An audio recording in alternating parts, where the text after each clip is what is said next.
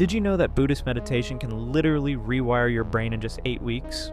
Neuroscientist Sarah Lazar at Harvard made a mind blowing discovery. She scanned the brains of people who had never meditated before. Then she taught them basic Buddhist meditation techniques. After only eight weeks of practice, their brain scans looked completely different. The cortical thickness increased in areas responsible for attention and sensory processing. Their hippocampus, the learning and memory center, actually grew larger. The amygdala, which controls fear and stress responses, physically shrank. Most incredible of all, their prefrontal cortex strengthened dramatically. This is the brain region that handles decision making and emotional regulation. These weren't just temporary changes, they were permanent structural modifications. Ancient monks discovered techniques 2,500 years ago that modern science proves can sculpt our brains. The same practices that helped Buddha achieve enlightenment can now measurably improve your cognitive function.